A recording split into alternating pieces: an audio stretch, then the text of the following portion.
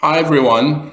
My name is Abdulelah Alhawsawi. I'm a hepatobiliary surgeon, but I'm also a patient safety advocate.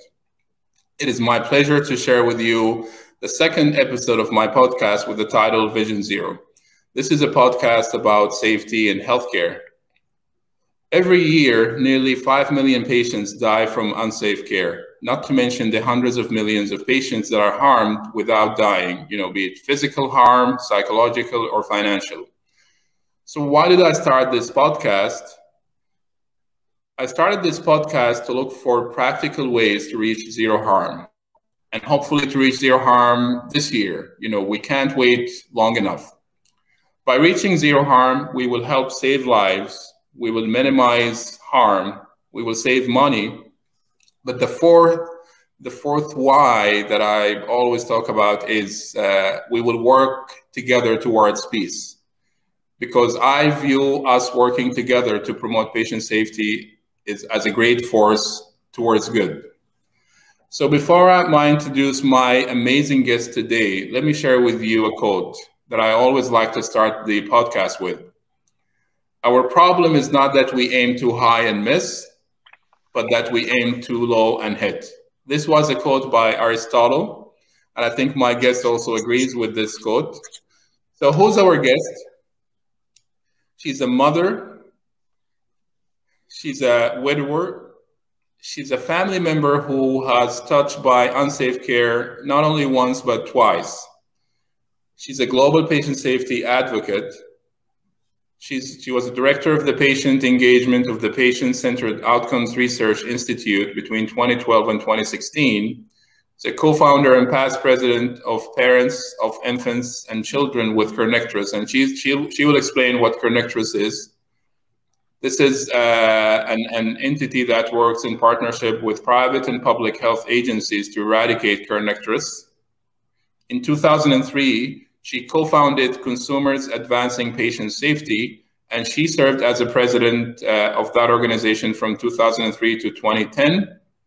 She has an MBA from Thunderbird School uh, Global Management, and she has an honorary doctorate in Humane Letters from Adrian College.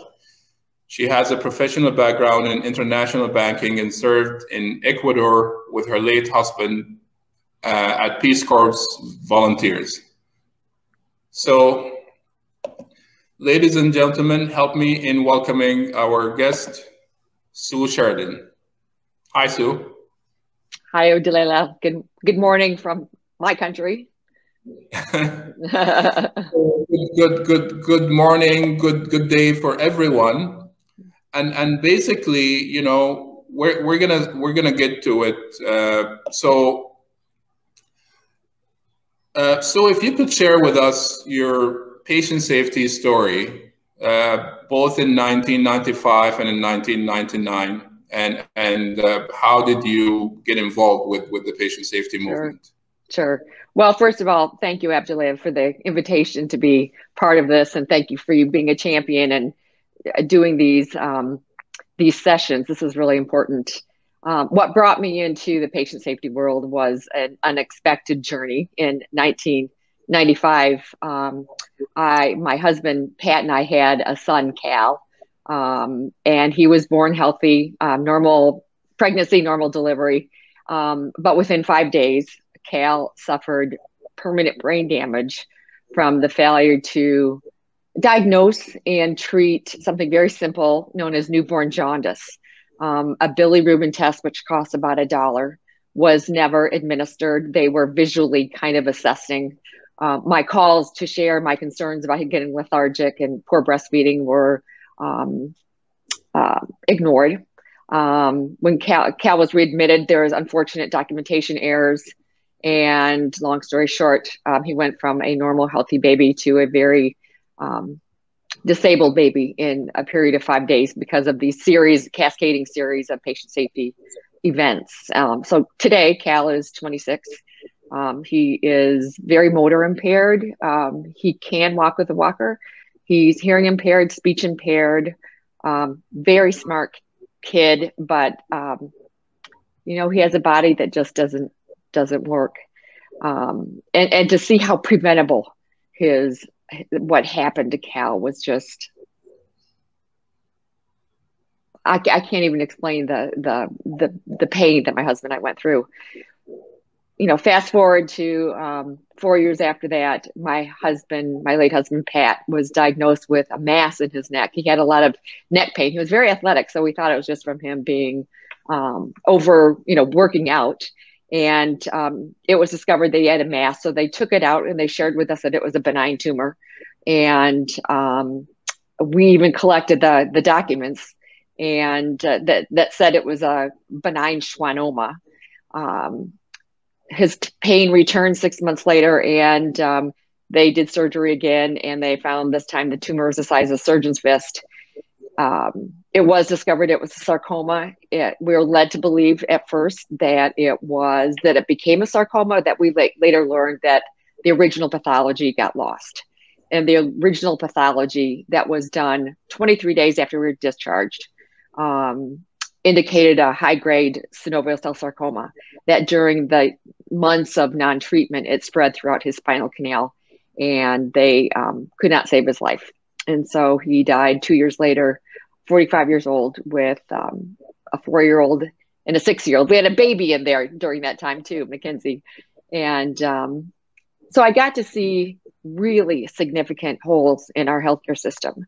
And like you said, I came from international trade finance banking, a very disciplined profession with a lot of regulation and a lot of oversight. And I assumed that our healthcare system was the same, that there was oversight, that someone was in charge of patient safety.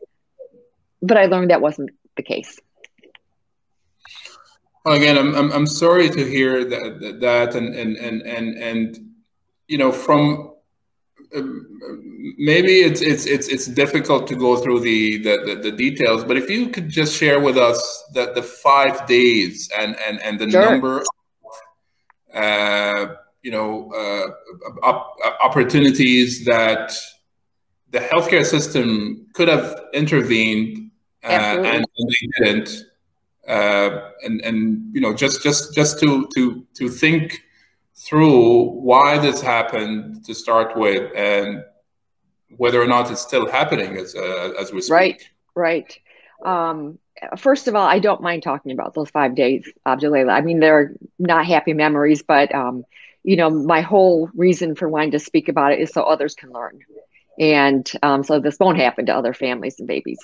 Um, so after Cal was born, he was uh, it was a normal delivery, very healthy little boy, or baby boy. He started to get um, yellow, you know, while we are still in the hospital. It was never brought to my attention, but later, after we looked at the birthing chart, they started identifying jaundice when he was 16 hours, which I didn't know that that was a red flag for for newborns. Um, we were told at discharge when it was 33 hours. Um, everything was fine. We were told he was a little yellow. They said not to worry, it was normal. They gave me a little handout that even said jaundice was, was a normal phenomenon, babies, and not to worry. So I didn't.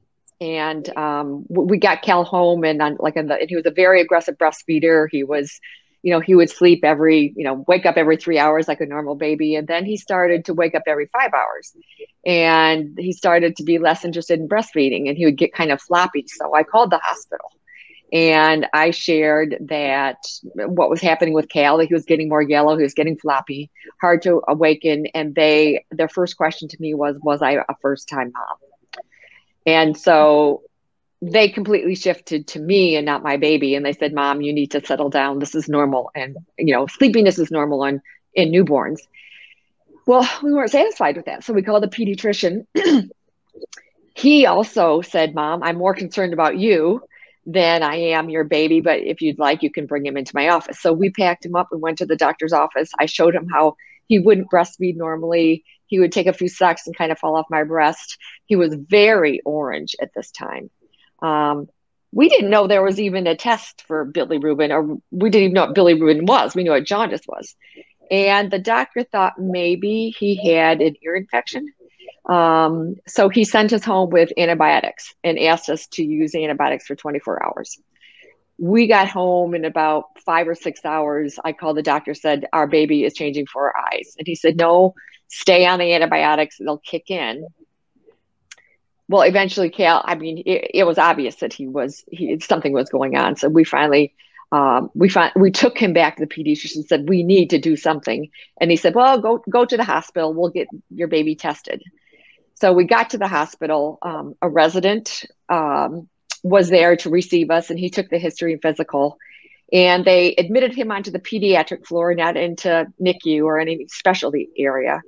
Um, the resident um, unfortunately made a documentation error and he wrote down that cal had the same blood type as mom. Um, he was unfamiliar with how the birthing charts were written, how the nurses wrote in the birthing charts. So he, because of his assumption that baby and mom had the same blood type, a blood incompatibility was ruled out. And um, had they tested his blood, actually, they never tested his blood.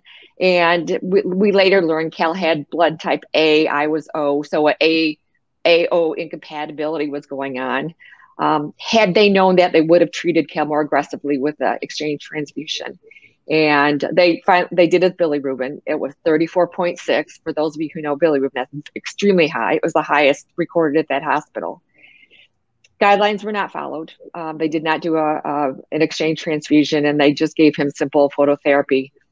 Um, we kept reporting these very strange symptoms of Cal. He started to arch backwards, and he started to have this high pitched cry, almost like a cat. And it was the second day Cal was in the hospital. And so we called for help and a neuro consult. And um, no one was really that concerned about his behavior. Um, but he was experiencing something called opisthotonic posturing. His legs were trembling, and he we watched him suffer brain damage at the hospital. Um, after that, he could no longer breastfeed. Um, he um, was a completely different baby neurologically you know would startle and um, he didn't develop we were discharged what they said a well baby. Um, a lot of the information was not shared with us. They did an mri in cal which showed um, abnormalities in his globus pallidus in his brain due to hyperbilirubinemia. Um, that information was not shared with us. Um, so we went on a journey of trying to figure out what was wrong with our baby for almost 16 months. And then finally, Cal was diagnosed by um, specialty out, specialists outside of our state um, that clearly indicated he was classic textbook case of kernicterus or brain damage from newborn jaundice. Used to be the second leading cause of cerebral palsy in the United States up to the 1970s. And then they learned more about it and they learned how to identify it and how to treat it. So it really was eradicated in the United States for almost 20, 25 years.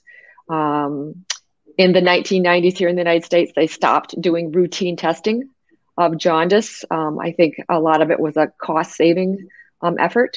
And um, a significant number of babies uh, kind of fell through the cracks during that time in the United States and in other countries um, and, and ended up having kernicterus. Some, some babies die from that.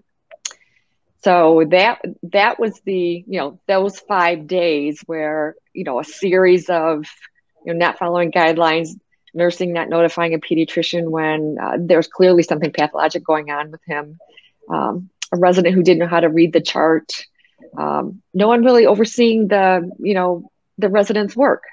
Um, I always felt for that resident. Um, so it was just like I said, a kind of a cascading.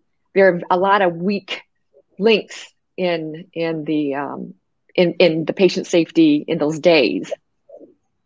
And and did, did you have like uh, you know proper disclosure where this was recognized by you know by the, the, the hospital leadership and and and and the you know the attending involved etc how how how how did how do you rate the uh, the disclosure process once it was right. recognized? Yeah, there was no disclosure. Okay. We had to. You know, it was it was um, kind of swept under the carpet, I would say. And mm-hmm. we were discharged with what they said a well baby, and he was a very sick baby. And so we ended up, you know, over the years or over the weeks and days and months going to several specialists all over, but in our own state. And then when we are finally encouraged by a clinician to go out of state to, you know, a specialty center, um, it wasn't until, you know, 16 months later that we learned that this was classic kernicterus Um, at that time, there was no communication between me and the hospital.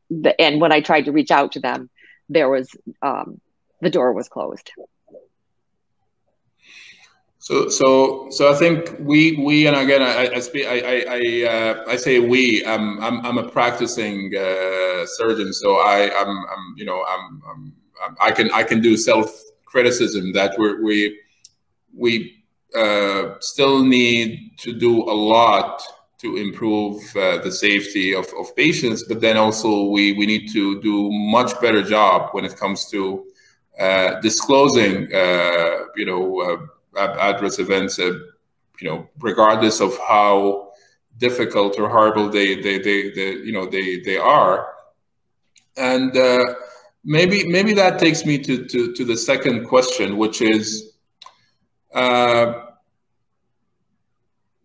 based on on and and, and you know unfortunately you you you you were involved in two uh, patient safety incidents that, that, that we call the, uh, the errors of omission because we, we mm-hmm. have errors of commission where mm -hmm. you know a surgeon like me could uh, harm a patient while he or she is doing a procedure inadvertently. But then we also have an errors of omission, which is uh, a diagnosis that is being overlooked. And, and, and uh, unfortunately, two very close uh, family members of yours were were were, were the uh, you know the recipient of that uh, of diagnostic right. error and and uh, uh so I want you to to, to talk through uh, the past 26 years of journey you know you you becoming you know a champion to uh, to push for for that and maybe again I don't want to put words in your mouth but but I sure. think what is what maybe what one of the things that is motivating you is to make sure that this harm does not happen to to other family right. and other people. So so do you think uh, either in, in in in Cal's case or past case that uh, this continues to to happen? Well, let, let me start with your first question or your first point that you brought up. Uh, first, my answer is yes, um, but let me give you a little background on that. Um, after I learned that Cal had suffered brain damage from his newborn jaundice, something that in the developing world is uncommon. Um, I learned that it was common in in um, countries in development, um, and so I was as you can imagine. I mean, as a first time mom, the baby that I nurtured for nine months, I went to every class there was. Um, I had no idea. I was not equipped with any information to, to help me protect my son, to equip me with the right information to protect Cal. So when I learned the reality of Cal's situation, he would have a disability the rest of his life. His goal when he was diagnosed was to learn how to sit up. Um, I had to visit my soul and decide did I want to just curl up and die or did I want to, you know, get out there and make a difference? And I chose get out there and fight like hell. So um, that led me on a path to understanding our healthcare system. And here in the United States, we have a very fragmented, disjointed healthcare system. We don't have anybody in charge of our healthcare system we have lots of agencies and lots of accreditors and research and public health, but we don't have anybody in charge. So I found my way to Washington, D.C., and I was fortunate enough to testify at the first national summit on uh, patient safety and medical errors in 2000. And after that, there was a lot of media about Cal and Pat stories, and they were on front page of journals, Wall Street Journal and USA Today. And so the, uh, these, these other mothers found me whose children also fell through the cracks and had kernicterus. So together, this group of mothers, we grew from 70 to in the United States, or from seven to um, in the United States, and now we're probably a global community of I don't know 250 all over the world of mothers and fathers of children have kernicterus. In the United States, the moms decided to co-produce a safer healthcare system, and we reached out to the accreditors. We reached out to CDC. We reached out to the National Institutes of Health. Um, we reached out to the very system that failed our kids. And so we worked together for eight years Um, we did research on the effectiveness of bilirubin testing. Is that safer than visual assessment? Um, so it, after eight years, um, the, I mean, the Joint Commission stepped in, our creditors, they issued two Sentinel event alerts, and consumers were involved in helping author those Sentinel event alerts. Uh, the CDC granted funds to our researchers who conducted research to identify that a bilirubin test was more effective and safer than visual assessment. Um, NIH conducted more um, research. Um, so it took, um, you know, it took the patients weaving together our healthcare system to change the protocols and the standards. And the American Academy of Pediatrics did update their guidelines and clarify their guidelines to say that it was important to test all babies prior to discharge. And that's exactly what the moms wanted. That coupled with um, information to the moms that it was important that we knew that jaundice could cause brain damage. And we learned, you know, we really had to challenge some of the authors of the prenatal books and challenge the American Academy of Pediatrics, who authored a lot of um, you know books for mothers who are expecting. And we and we worked together on this and we did focus groups and surveys and we did research on here in the United States. And we learned of course that mothers and fathers did want to know that jaundice could cause brain damage. There was a belief you know 20 years ago that if that kind of information was shared with mothers and fathers that we would overreact.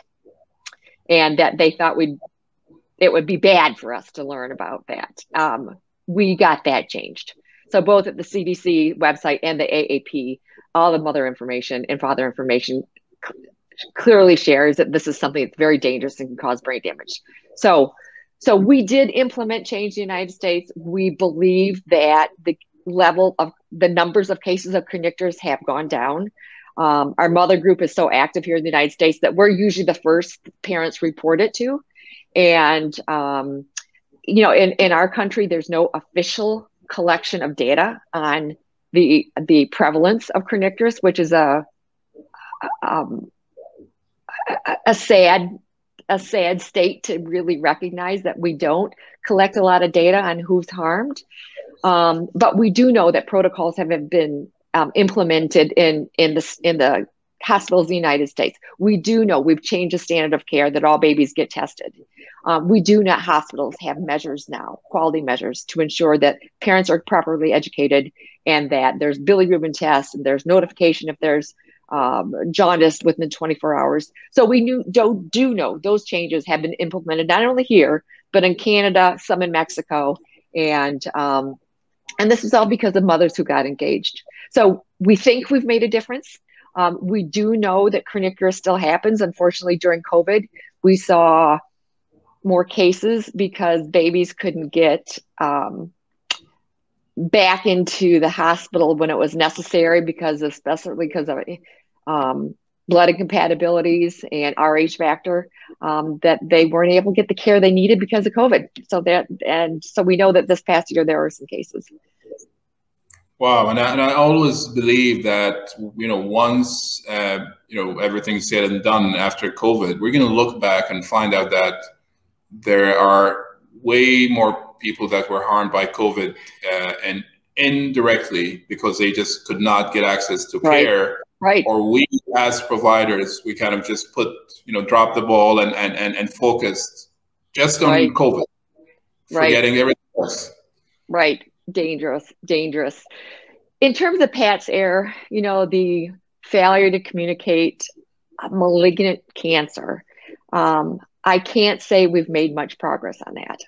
And, um, you know, evidence shows that between 7 and 15%, and it depends on what journal you read, but, you know, between 7 and 15% of life threatening test results never get communicated to the patients.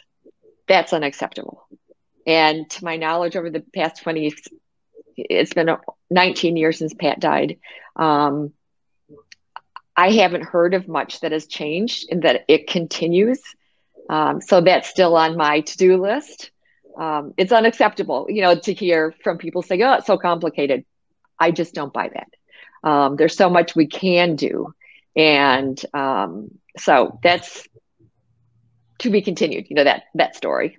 Um, you know, going back to the jaundice, Abdulelah, um, another another phenomena that's happening. Although all babies, almost all babies, are getting tested now in the United States for their jaundice. Um, we're finding that you know we're a very diverse population here, and so we have um, kiddos now that have suffered brain damage because from their jaundice because of either they're African American and people were visually assessing. Um, Eastern Middle um, Eastern uh, Mediterranean kiddos have G- G6PD, which is there's no routine test for that and enzyme deficiency. So they might look fine at two days, but then their bilirubin goes up exponentially um, and it doesn't get caught. So actually, we moms right now have invited ourselves to the guideline development table with the American Academy of Pediatrics, and we are reviewing and um, making recommendations to for some new guidelines that will address some of these issues that we see happening. And again, you know, uh, what what what the story that you mentioned is music to my ears in, in, in indicates that you know out of this tragedy having having the the the mothers uh, work together uh, you can actually impact change and and, and that goes Absolutely. against against the paternalistic approach that again we and uh, as as, as a healthcare provider Absolutely. Uh, we, we, have the, this idea that uh, you know as a patient you should stay in your lane you just do right.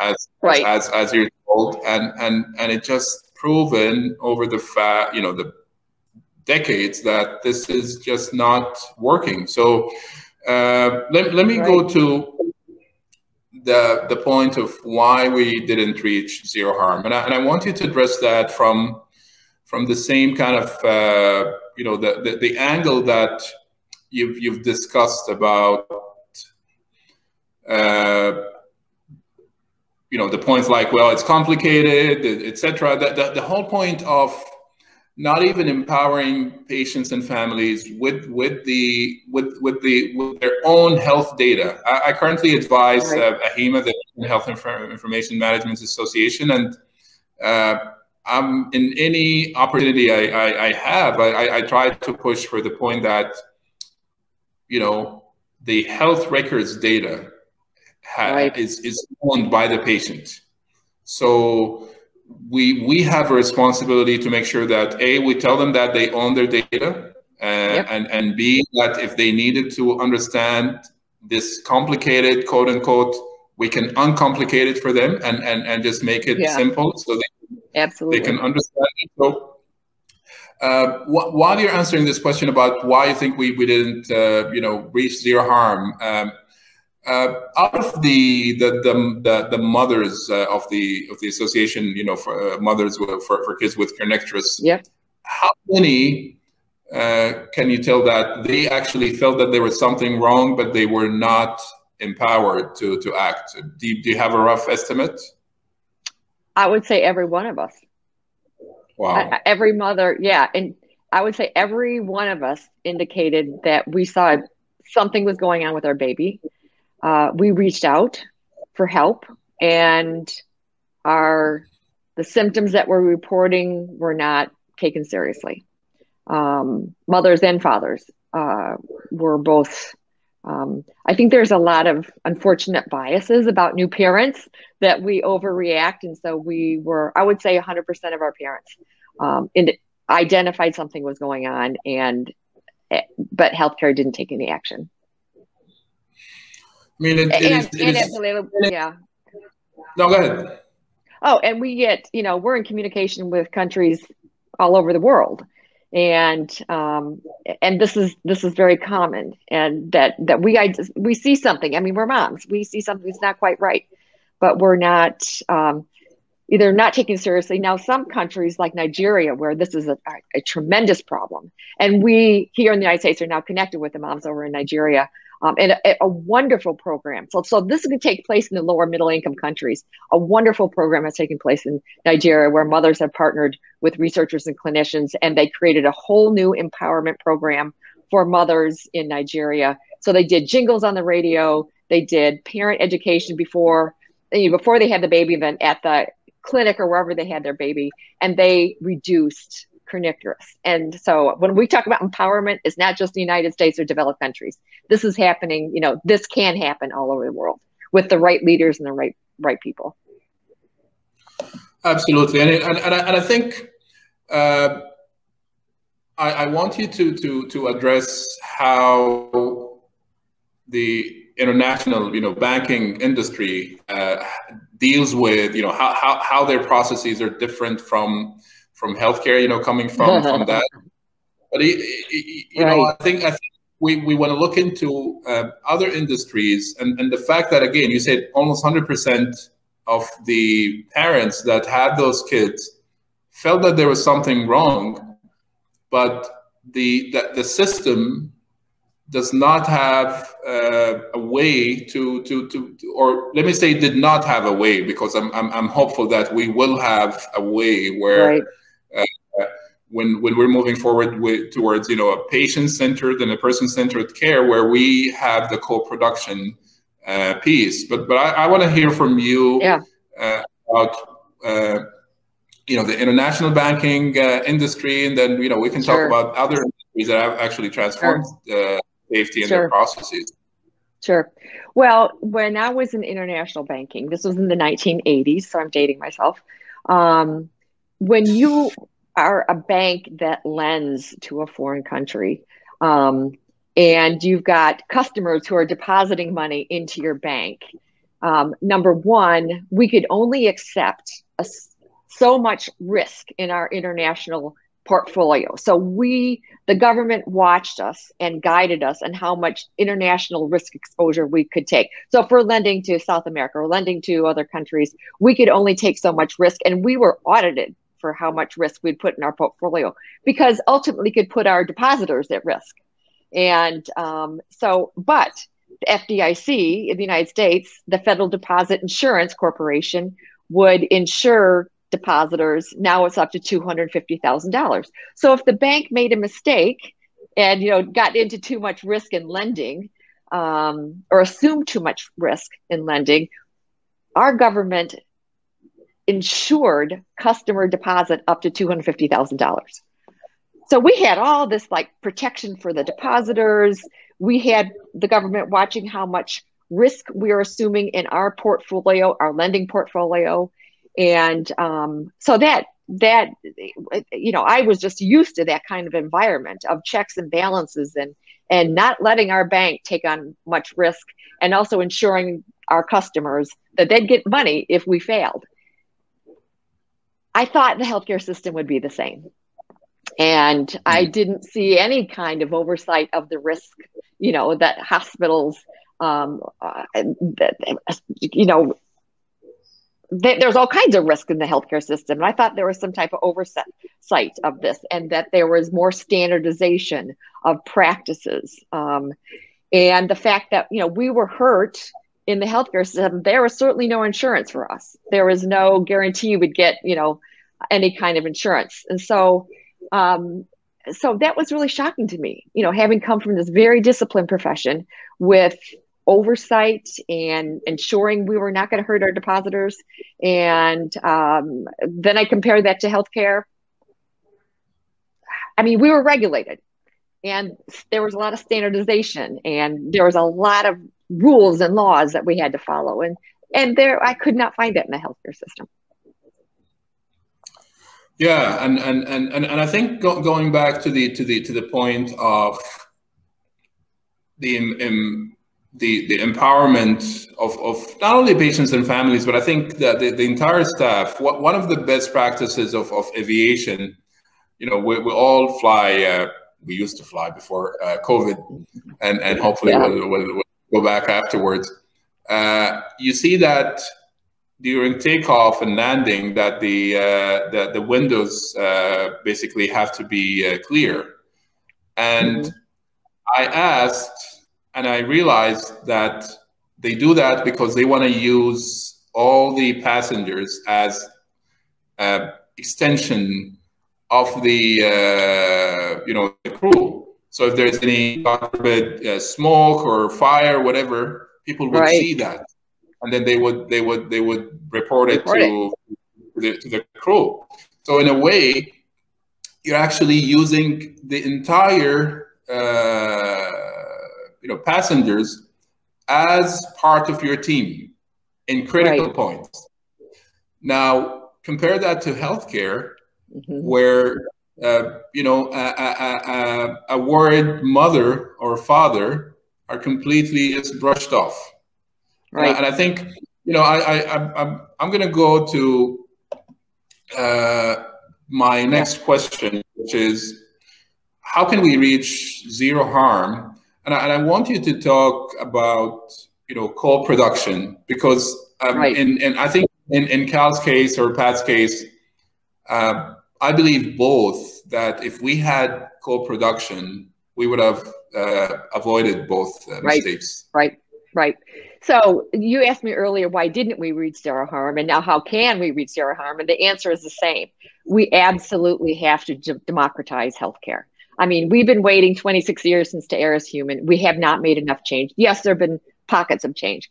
We must engage the patients, the families, the communities, civil society, patient organizations, as called by the WHA, the 72nd uh, WHA uh, call to action about patient safety they are calling all member states and, and maybe challenging all member states to engage us as problem solvers.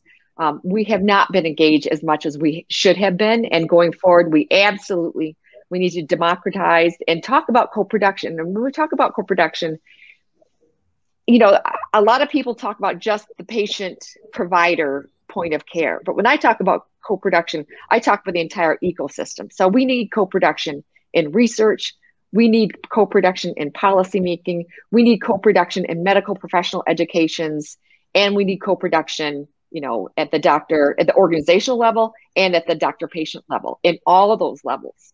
And um, so, I think to get to zero harm, we need to democratize healthcare.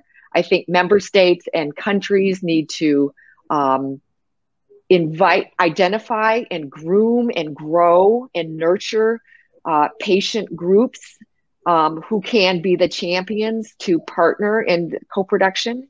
They need to train the patients. We need to identify um, courageous, committed healthcare leaders who aren't satisfied with the status quo and who are humble enough to in, invite the public into the healthcare world.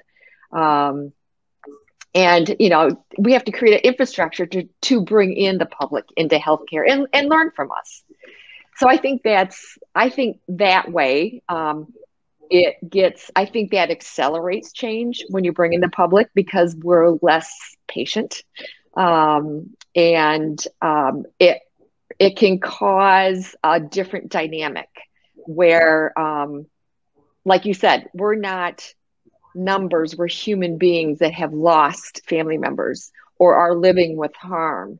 And um, we want we have this sense of urgency which i think we've lost that sense of urgency in in patient safety for whatever reason. Uh, we need to get that back um, and, and, you know really ramp up our game. So i don't know if i'm answering your question but you asked how do we get to zero harm i don't think the healthcare system can do it without the patient and family and community uh, you know members um, i think you've been missing a, a really important partner for years, and we're here. Uh, you know, I know I know patients and family members all over the world who would be delighted to be invited or and to get engaged in creating a safer healthcare system. On the flip side, you know, there's a lot of us out there who are inviting people like you to our tables to have discussions. So we're not going to wait for the invitation. That we're saying, no, let's you come to my table, let's have this conversation and let's make a change together. Absolutely. Uh, you know, so let, let me before I ask the, the, last question, acknowledge you for you know for the for the leader that you've been over the past uh, 26 years. Mm-hmm. You know, uh, uh people that uh, go through adversity could either, as you said, you know, just uh, disconnect or could actually use that as as as a, as a, as an energy to to to push forward. That I think you you you you've chosen the latter and uh, I, I think you and, and, and, and, and, and all the organizations that you've worked with have saved, you know, just looking at the, the, the stats, I think you've saved thousands and, and, and maybe tens of thousands of lives. I think you've touched millions of lives that without even knowing, because with with with some of the policy changes that you've you've championed, uh, uh, is is uh, an embodiment of co-production. So so I I, I really uh, you know would would like to uh, congratulate you on on on those efforts and and uh, I think you are a champion of uh, of the journey towards zero harm. So that's why I'm I'm I'm I'm, I'm honored and privileged to have you, uh, you know, as, as a friend and as as someone who's uh, uh also uh, you know a, a, thought leader when it comes to uh, to to patient safety.